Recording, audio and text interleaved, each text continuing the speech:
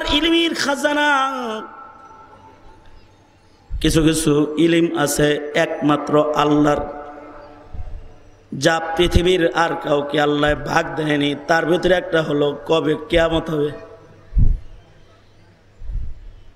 হাদিসে জিব্রাইলে হজরত জিব্রাইল খোদ নবীকে জিজ্ঞাসা করতেছে, কেয়ামত কবে হবে? নবী কয়, যে প্রশ্ন করে সে জবাবদাতার চাইতে ভালো জানে।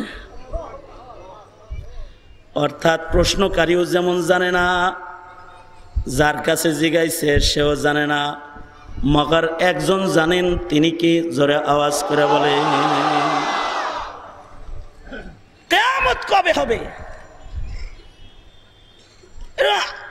গ্রাম্য বধু ব্যক্তি নবীজিকে জিজ্ঞাসা করে মাতাসা কেয়ামত কবে হবে?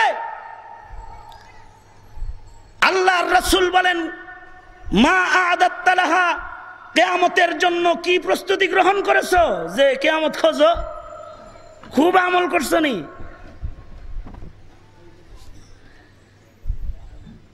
সাহাবি বলে, আমি খুব বেশি আমল করি নাই।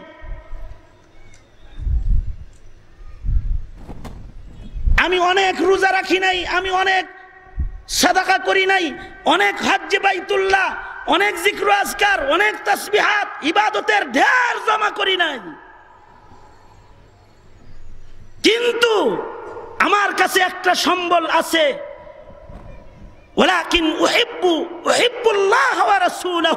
আমি আল্লাহ আর আল্লাহর রাসূলের ভালোবাসি।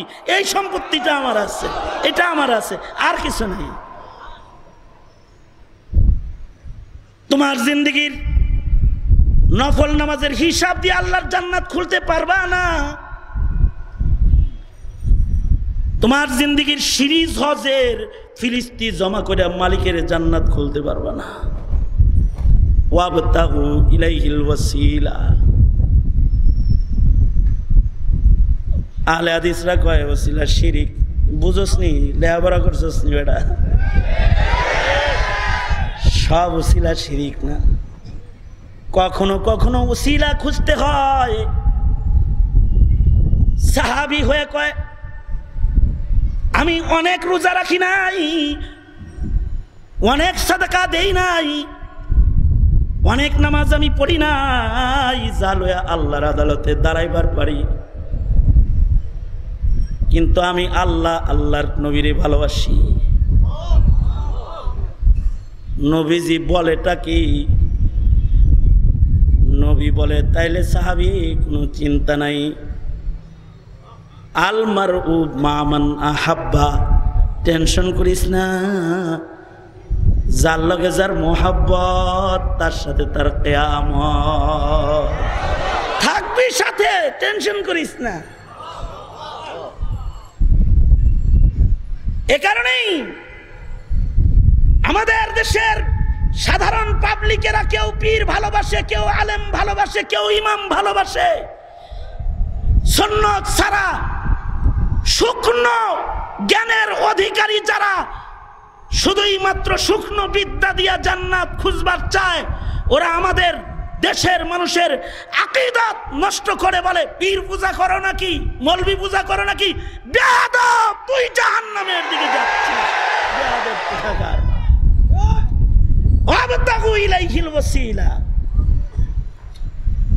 মোহাব্বতগুলো নাজাতের জন্য বাহানা কেয়ামত পর্যন্ত আর কোন নবী রাসূল আসবে না। আল্লাহর মনোনীত কোন পয়গম্বর হয়ে কেউ নবুয়াত জমিনে আসবে না। কবর থেকে আবু বকার উঠা তোমাদেরকে দিনের কথা বলবে না। ওসমান আলী তোমাদের সামনে তৌহিদের কথা, জিকিরের কথা নামাজের কথা, সাদাকা খায়রাতের কথা লয়ে দাঁড়াইবে না। কিন্তু তোমাদের কাছে কখনো কখনো কিছু মানুষ যাবে। যারা নবীর নাই যারা নবী ওয়ালা জিম্মাদারি নিয়ে তোমাদের সামনে যে দাঁড়ায় যাবে। তোমাদের পায়ে ধরে বলবে এরা আল্লাহর বান্দা, মিথ্যা বলিস না, গিবত করিস না, নামাজ সারিস না ব্যবহারদা চলিস না, জেনা ব্যবিচার করিস না, পায়ে হাত দিয়ে বলি, পায়ে হাত দিয়ে বলি বলবে। এই যে কিছু নেককার নেককার মানুষ যারা জমিনে আছে, যারা রবের গুলামির স্বাদ পাইছে যাদের ভেতরে গুনার ঘৃণা প্রবেশ করেছে, যারা জাতিকে হৃদায়তের পথে ডাকে আর টানে, এই সকল মানুষদেরকেও যারা ভালোবাসবে, আল্লাহর রসুল বলেন, বুখারি মুসলিমের হাদিস, যে যার সাথে মোহাব্বত রাখবে, সে তার সাথে জান্নাতে থাকবে। হাসরে সে তার সাথে হবে। এখন মুসলিম মুমিন হিসাবে সিদ্ধান্ত গ্রহণ করো। প্রেমের রসিকি নাস্তিক আর মুরতাদ আর বেঈমানের সাথে লাগাবে, নাকি কোনো নায়েবে নবীর সাথে লাগাবে? সিদ্ধান্ত গ্রহণ করো বেদি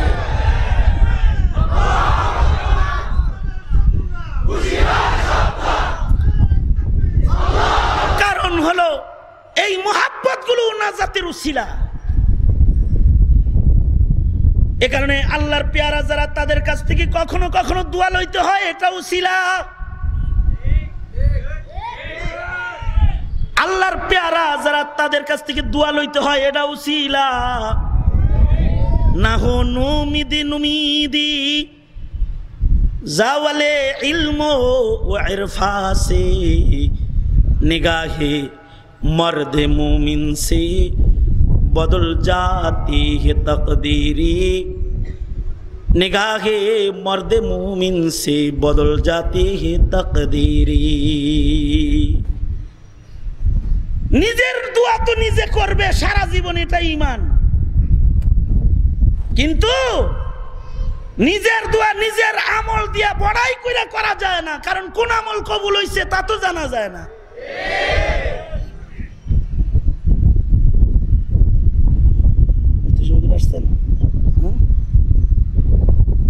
নিজের আমল কোনটা কবুল হয়েছে এটা তো জানি না।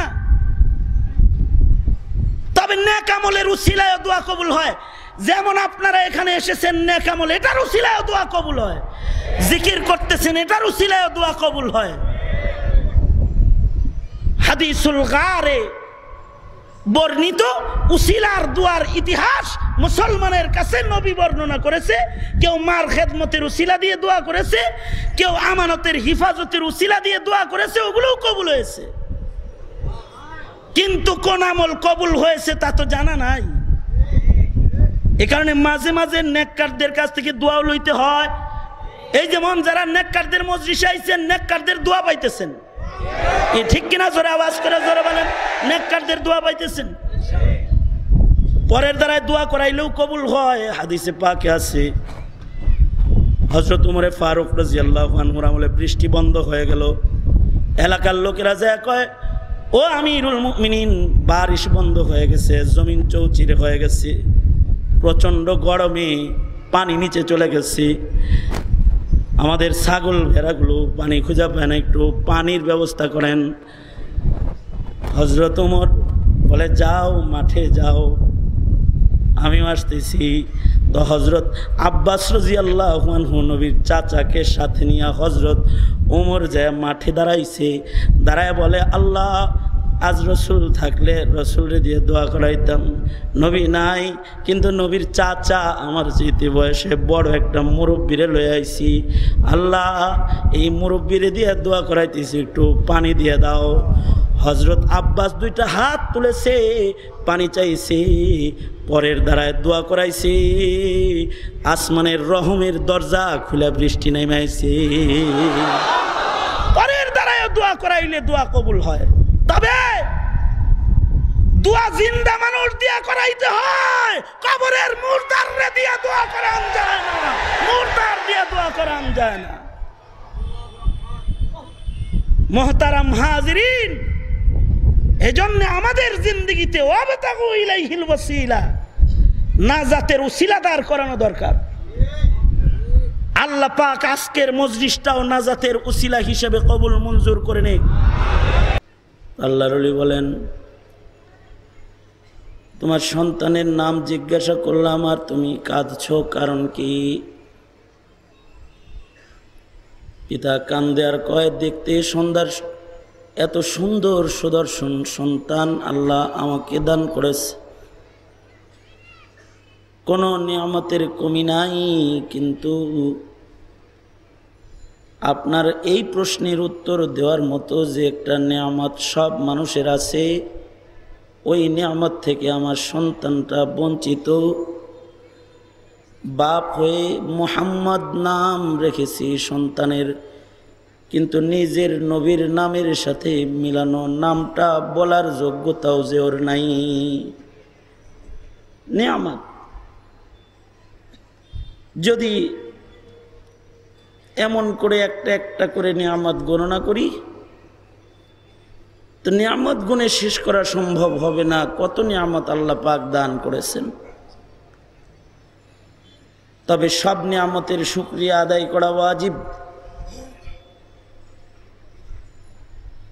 বান্দার জন্য আল্লাহ পাকের একটা নিয়ামতের শুক্রিয়াও আদায় করা সম্ভব নয়। আল্লামা শেখ সাদি রহমতুল্লাহ আলী বড় সুন্দর করে বলেছেন, তোমরা যে সেকেন্ডে সেকেন্ডে আল্লাহ পাকের নিয়ামতটা নিতেছ, শ্বাস গ্রহণ। অক্সিজেন গ্রহণ করতেছে, আর কার্বন ডাই অক্সাইড বান্দা ত্যাগ করতেছে। মুহূর্তে মুহূর্তে বান্দা বাতাস গ্রহণ করতেছে, আবার বাতাস ছাড়তেছে।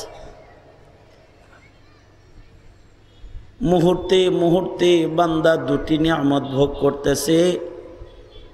একটা হলো অক্সিজেন গ্রহণ করা, আর একটা হলো কার্বন ডাইঅক্সাইড ত্যাগ করা। এই বাতাসটা যদি গ্রহণ করতে না পারে, তাইলেও বান্দার মৃত্যু নিশ্চিত হয়ে যাবে। আর বাতাসটা ভেতরে ঢোকার পরে যদি আল্লাহ পাক তার নিয়ামতে বের না করেন, তাও বান্দার মৃত্যু হয়ে যাবে। দম শ্বাস নিতে না পারলেও মৃত্যু নিশ্চিত। ভেতরে আটকে গেলেও মৃত্যু নিশ্চিত। এর কদর বোঝা যায় তখন যখন কেউ স্ট্রোকের কোনো রোগী হয়ে তার শ্বাস প্রশ্বাস বন্ধ হয়ে যায়। তখন যদি উন্নত হসপিটালের আইসিওতে তাকে ভর্তি করে তো একদিনে কত টাকার নিয়ামত ভোগ করছে কিছু টের পাওয়া যায়। পাইপ দিয়ে তখন বাতাস নেয়। পাইপের দ্বারায় অক্সিজেন তাকে দিয়ে তার জীবন রক্ষা হয়। অসুস্থতা এসে গেলে তখন নিয়ামতের কদর বোঝা যায়। এশার নামাজ পড়ে বান্দা ঘুমাইছে ফজর পর্যন্ত ঘুমাইছে। পৃথিবীর কেউ তার ঘুমন্ত অবস্থায় তাকে পাশে বসে পাহারাও দেয় নাই। কিন্তু একজনের মুহূর্তে মুহূর্তে পাহারার নিয়ামত বান্দা ঘুমন্ত অবস্থায়ও ভোগ করেছে তিনি কে? আওয়াজ করে মোহাব্বতের সাথে বলুন তিনি কে? আল্লাহ পাকের নিয়ামত বান্দা ভোগ করেছে যে ঘুমন্ত অবস্থায় শ্বাস নিছে আবার কার্বন ডাইঅক্সাইড ত্যাগ করেছে। পৃথিবীর কোনো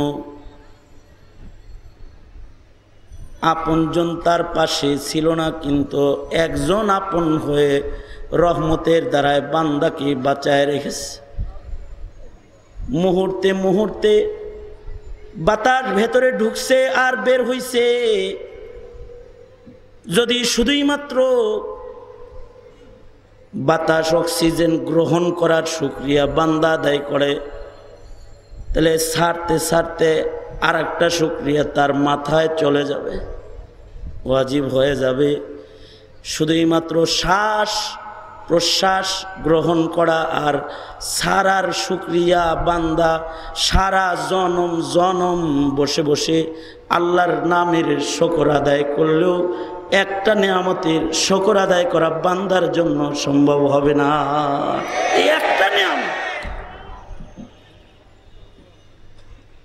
যদি বান্দা শুক্রিয়া আদায় না করে, তাহলে ইন্না আদাবি লাসাদিদ কই? আমরা তো ওই হিসাবে না শকর। অসংখ্য অগণিত নিয়ামত ভোগে আছে, কিন্তু শকর একটারও হক আদায় করে নাই। তাইলে তো আজাব গজব ধরে ফেলবে। দুর্বল বান্দা।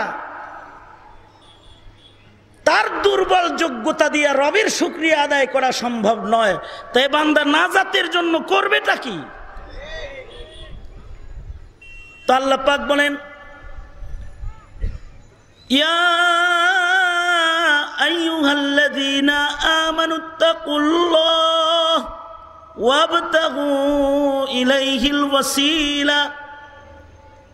ও ইমানদার বান্দা,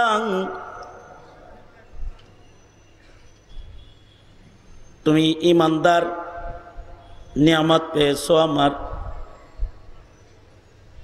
যত নিয়ামত পাইছি, তার ভেতরে সবচেয়ে দামি নিয়ামত হলো ইমানের নিয়ামত। যে নিয়ামত আল্লাহ পাক ফ্রি ফ্রি আমাদের দান করেছেন। সোয়েব রুমির মতো, সালমান ফারসির মতো, সুমাইয়ার মতো হাবসি বেলালের মতো খোবায়েব খাব্বাবের মতন কোনো কোরবানি আল্লাহ পাক আমাদের কাছ থেকে ইমানের বদলে নেয় নাই।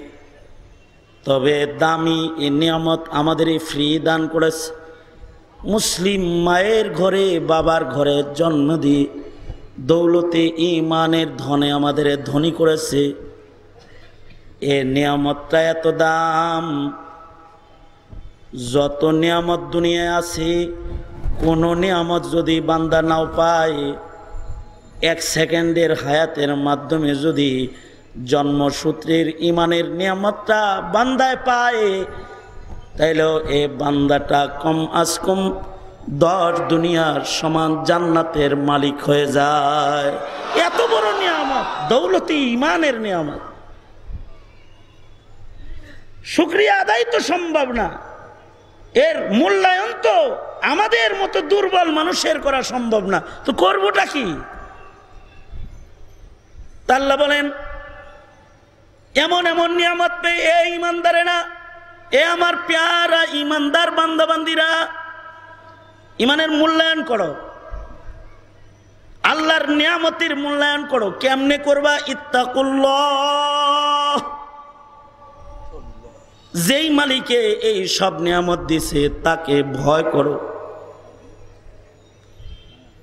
ভয় করার মানে হলো, সেকেন্ডের জন্য ও মালিক রে ভুইলা হায়াতের একটা সেকেন্ড তুমি মালিকের নিয়ামতের না ফরমান হয়ে তুমি কোনো গুণা করো না। তাকওয়া দিলে লালন পালন করো গুণামুক্ত জিন্দিগি বছর করো। তাকওয়া আল্লাহ পাকের ভয় দিলে রাখো। পাপ করিও না। গোনা খাতা করে ইমানের নূরকে ঢেকে দিও না। আল্লাহরে ভয় করো আর ওয়াবতাগু নাজাতের জন্য, আল্লাহর নৈকট্যশীল গুলাম হওয়ার জন্য ওসিলা তালাশ করো। করবা ছোট ছোট আমল কিন্তু যদি কবুল হয়, তাহলে এর উসিলায় রহমান মালিকে কোনো জিজ্ঞাসা তোমায় করবে না। পুরস্কার দিয়ে জান্নাতে নিজের কাছে জায়গা দিবে। উসিলা খুঁজো উসিলা খুঁজো তার কাছে যাওয়ার। বান্দার জিন্দিগির উসিলাগুলো কি? মুফাসসিরিন বলে, নেক কাজ সব উসিলা। এর আদনা সে আদনা, কোন নেক কাজও যদি কবুল হয়, তাহলে এর উসিলায় আল্লাহ বান্দারে মাফ করতে পারে। জান্নাতও দিতে পারে। আরই তৈয়ব বলে, আরে শুধু জান্নাত না, বান্দা যা চায় তাও দিতে পারে। ছোট্ট একটা আমলের উসিলা। যা চাইবে সব দিতে পারে। ওই ছোট্ট আমলটা হতে পারে আমাদের জবানের একটা আলহামদুলিল্লাহ। হতে পারে একটা সুবহান হতে পারে আমাদের জবানের কালিমার আওয়াজ, লা ইলাহা ইল্লাল্লাহ। হতে পারে আমাদের জবানের আল্লাহু আল্লাহ। আল্লাহ আল্লাহ আল্লাহ। দরদ ভরে বান্দা তার রবকে ডেকেছে। এর একটা ডাকও যদি বান্দার জিন্দিগিতে কবুল হয়ে যায় তাহলে এর উসিলায় বান্দাকে একটা জান্নাত নয়। বান্দা যা চাইবে সব দিতে। আহকামুল হাকিমিন, আল্লাহ তৈয়ার হয়ে যায়। ওইটাই উসিলা বান্দার নাজাতের আরে তৈব বলে ওটা হইতে পারে একটা সুবহান আল্লাহ উপমা দিয়ে তিনি বলেন, দেখো না, ইউসুফ আলাইহিসালামের ওয়াকে আকে দৃষ্টান্ত হিসাবে তিনি পেশ করে বলেন, ইউসুফ নবী যখন খাদ্যমন্ত্রী, তো উনি খাদ্য বিতরণ করবেন, আইন করেছেন, টিকিট দিয়ে দিয়ে আইন করে করে মাসে মাসে এক টিকিটে একবার ত্রাণ দেয়। কিন্তু এই মিশরে এমন একটা চতুর মানুষ আছে যে এক টিকিট দুইবার ব্যবহার করে মাসে একবার না, দুইবার ত্রাণ নেয়। সোরের দশ দিন, গৃহস্থির তো একদিন। ধরা গায়ে গেছে একদিন। এ তো ডবল নির্ণ পার্টি কিছু আছে না? তো তোবার দুইবার নে। এ দুইবার ত্রাণ নে। এই, তুমি দুবার ত্রাণ নাও কেন? চোরের আবার বড় গলা। আমার অধিকার আছে, এজন্যই নেই। আমার এক টিকিটে দুইবার নেওয়ার অধিকার আছে। কেমনে দুইবার নেওয়ার অধিকার আছে? কয়, তোমার কাছে বলব নি? ইসুফ নবীর কাছে বলব। পয়গম্বর ইউসুফ আলাইসালামের কাছে লয়ে গেছে। ইউসুফ নবী বলে, তুমি কি দুইবার নাও? জি। কেন দুইবার নাও? চেহারা দেখা কি চেনন যায় না? কে আমি? একবার নেই মিশরের নাগরিক হিসাবে আর আর একবার নেই আপনার পবিত্রতার সাক্ষীদাতা হিসেবে। চেহারাটা ভালো করে নজর করে দেখেন। জুলাইখা যেদিন জেনার অপবাদ লাগাই দিয়েছিল, আপনি আসামি ছিলেন। জেনার দাগি আসামি, পয়গম্বরের পক্ষে কথা বলার এই মিশরের মাটিতে কেউ ছিল না। জুলাইখা বিচার দিছে কারোর সাহস নেই আপনার পক্ষে কথা কয়। সেদিন আমি সেই আপনার উপরে পবিত্রতার সাক্ষ্য দাতা মানুষ, মায়ের দুলনাথ থেকে যাকে আসমানের মালিক মাওলায় জবান খোলায় আর দুলনাথ থেকে আপনার পবিত্রতা বর্ণনা করেছিলাম আমি। তাই গোটা মিশরের মানুষ আর আমার দাম একরকম না। গোটা মিশরের মানুষের সাথে নবীর পবিত্রতা বর্ণনাকারীর তুলনা চলে না। মিশরের সবাই যদি এক টিকিটে একবার পায়, আমি পাবো দুইবার। একবার পাবো নাগরিক হিসেবে আর একবার পাবো পবিত্রতার সাক্ষীদাতা হিসেবে। বিবরণী পয়গম্বর ইউসুফের সেই পিছনের মুসিবতের সেই করুণ ইতিহাস স্মরণ হয়ে গেছে। পয়গম্বরের চোখ দিয়ে চোখের পানি গড়ায় পড়ে গেছে। আদর আর মায়ায় যুবকের বুকের মধ্যে জড়ায় ধৈরা কান্দে আর কয়, এই খাদ্য ম্যানেজমেন্ট কর্মকর্তারা সবাই রে দিবা একবার, কিন্তু আমার পবিত্রতার সাক্ষী দাতাকে একবার নয়। সে যতবার দাঁড়াবে তার হাতে কিছু না কিছু দিয়ে দিবা, খালি হাত কখনো ফেরত দিও না। কারি তৈয়ব বলে, ইউসুফের পবিত্রতা বর্ণনা করে যদি একটা সাক্ষী দিয়ে যদি বারবার ত্রাণ পায় তবে দয়াল মালিক আল্লাহ সুবহান পবিত্রতা বর্ণনা করে কোনো বান্দায় যদি দিল থেকে একটা সুবহান আল্লাহ বইলা ওইটা কবুল করাইতে পারে, তাহলে ময়দানে মাসারে আল্লাহ বলবে সুবহান আল্লাহ বলে বলে আমার পবিত্রতা বর্ণনাকারীর এত জিজ্ঞাসা করিস না। যে আমারে বলছে পবিত্র না পাক নাই, ও পবিত্র, ও যা চায় তাই দে। যত জান্নাত চায় তত জান্নাত আমার বান্দাকে দিয়ে দে। আল্লাহ আকবার, জোরে করে বলেন, আল্লাহ আকবার।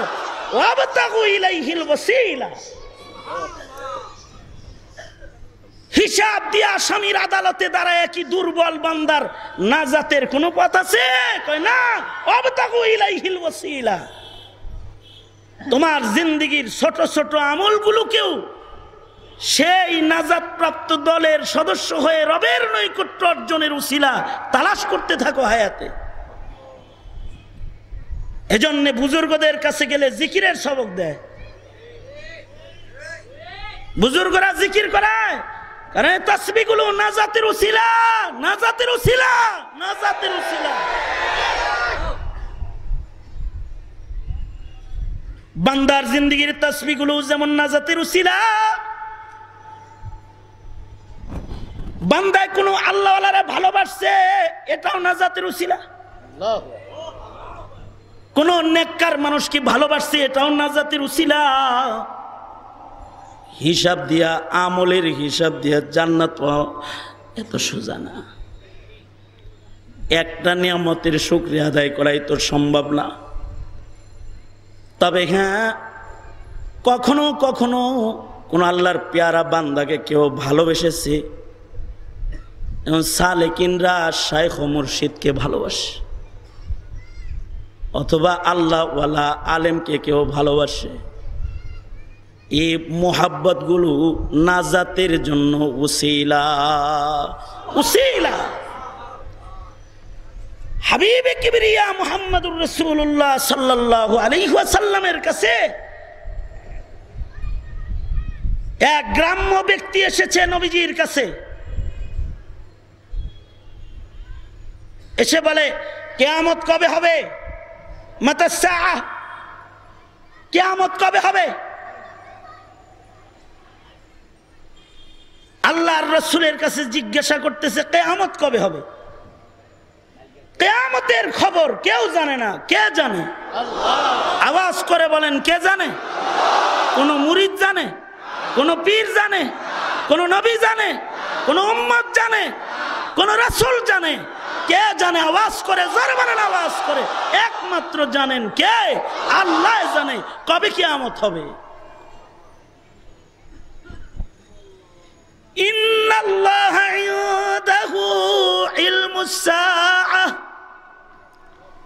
إن الله عنده علم الساعة وينزل الغيث ويعلم ما في الأرحام وما تدري نفس ماذا وما تدري نفس ماذا تكسب غدا وما تدري نفس بأي أرض تموت